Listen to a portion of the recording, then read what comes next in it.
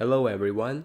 In this video I'm going to show you how to join age-restricted servers on mobile iOS. So go into the Discord, you will never find this type of option in the settings because it, it simply doesn't exist in the Discord application. So we need to go to the, our browser and find discordapp.com.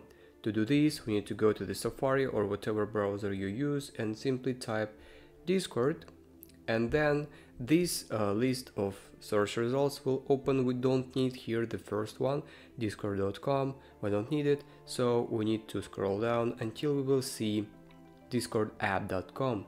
So simply go for it and wait for the site to be loaded.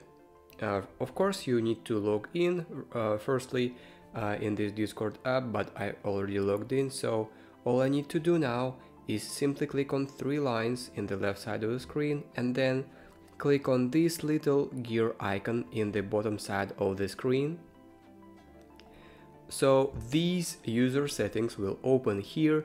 In the user settings section, we need to click on privacy and safety. This is the third option here. And then these uh, privacy and safety settings will open. Here we need to scroll down until we will find a allow access to age restricted servers on iOS option.